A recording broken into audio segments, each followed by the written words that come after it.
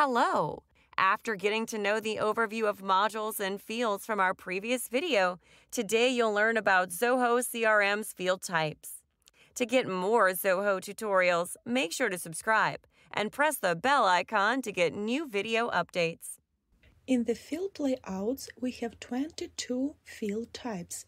So single line and multi-line for free text, email, phone, pick list or multi-select where you could add your options, date or date and time, number, auto number, currency field, decimal, percent, long integer, checkbox, website link, lookup. This is a field that links your model to another models in Zoho CRM.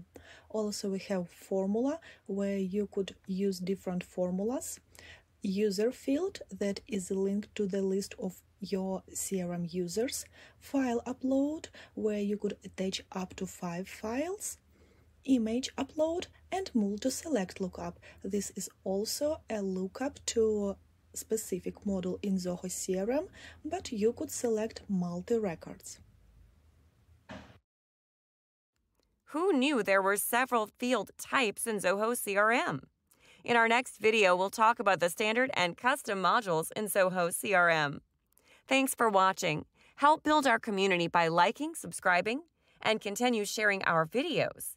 Need further help? Reach out to us at knowhow at customerization.ca.